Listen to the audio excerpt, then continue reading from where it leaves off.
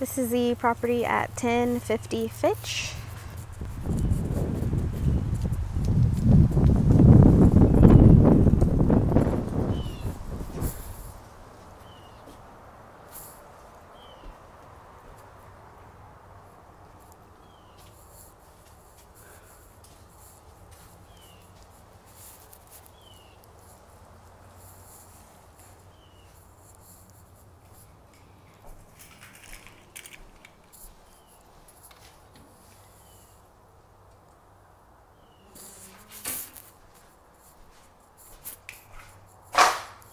Is the kitchen here.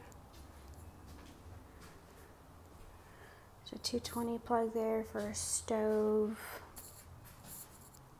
There's a bucket under there indicating that there's probably a water leak coming from the sink. We have the back door boarded up.